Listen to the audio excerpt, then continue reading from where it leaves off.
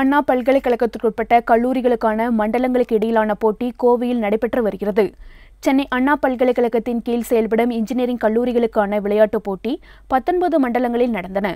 இதில் வாலிபால் விளையாட்டில் வெற்றி பெற்ற கல்லூரி அணிகளுக்கான போட்டி அரசூர் கேபிஆர் தொழில்நுட்ப கல்லூரியில் துவங்கி இரு நாள் நடக்கிறது. முதல் போட்டியில் புதுக்கோட்டை மவுண்ட் ஜிங் கல்லூரியை இருபத்தி ஐந்திற்கு பத்தொன்பது இருபத்தி ஐந்திற்கு இருபத்தி மூன்று என்ற புள்ளிக்கணக்கில் சேலம் விஎஸ்ஐ கல்லூரி நிறுவனம் வென்றது.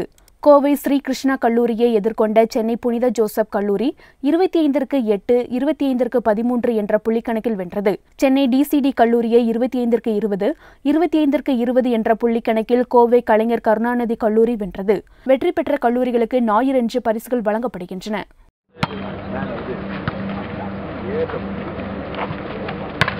Oi!